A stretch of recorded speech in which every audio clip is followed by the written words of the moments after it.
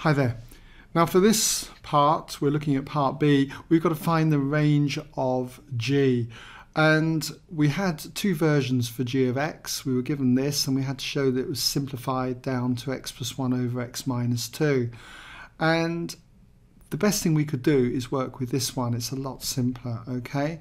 And when it comes to working out the range, I always believe that you should be able to sketch the graph because it will help you.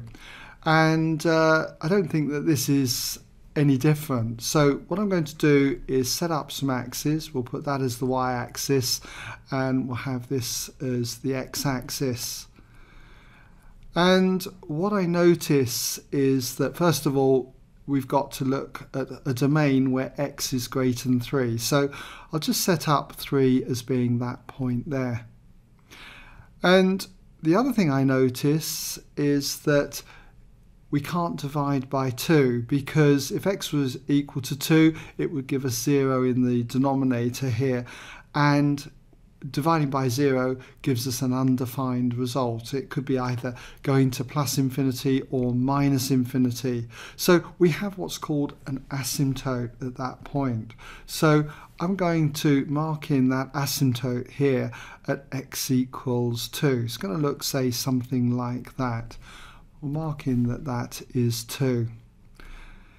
Now that means that the curve, when x tends towards 2, when it's just a value just slightly more than 2, the top here is going to be positive, the denominator here is going to be close to 0 but positive. So it's going to signify that we're going to get a very large value as x approaches 2, a large positive value. So it's going to tend to the asymptote like this, okay? Now the other thing I want to do is check out what happens for very large values as x is bigger than 3, it's going to tend towards infinity. So looking at that, if we just put here g of x again, g of x we can see then is x plus 1 divided by x minus 2.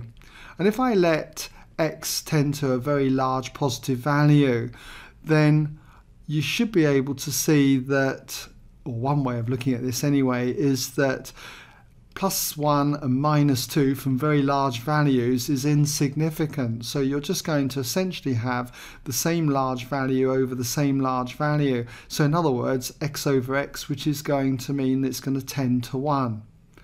If you're not happy with that technique, there's another way that you could look at this, and that is divide top and bottom by x. And if you do that, you get x divided by x, which is 1, and then you get plus the 1 over x here and then all of this is divided by x divided by x which is 1 and then minus 2 divided by x. And if you look at it from this point of view as x tends to infinity okay large numbers then what happens to g of x is that we get 1 over x. X being a large number 1 divided by a large number tends to 0 so you get 1 on the top so we can see that this tends to 1 on the top divided by and the same argument here. 2 over a large number tends to 0 so you're just left with 1 in the denominator. 1 over 1 then tends to 1 so that means that we've got an asymptote and we'll mark that in then across here where y, if you like, g of x is 1. So if we mark that in something like this, it's not drawn totally to scale, but hopefully it will give you an idea, then we've got this curve coming down, and as x gets larger, this tends to the asymptote y equals 1.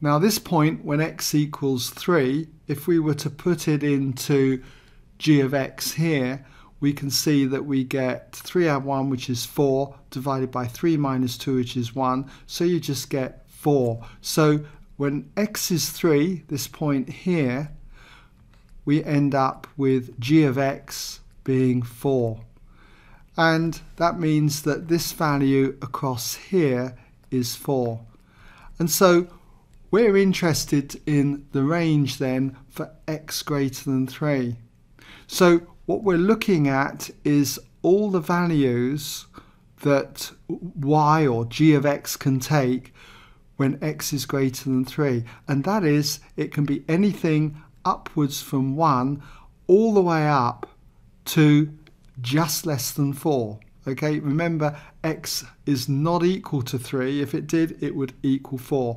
But it's going to be any value then from 1 up to the 4. And that's what we've got. I'll just put in here that when x equals 3, just to remind you, g of 3 equaled 4. So therefore, the range is that g of x can be greater than 1 and less than 4 for x greater than 3. And as I say, I hope you can see it from the graph here.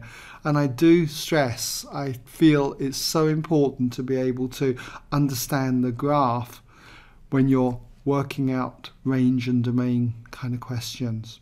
Okay?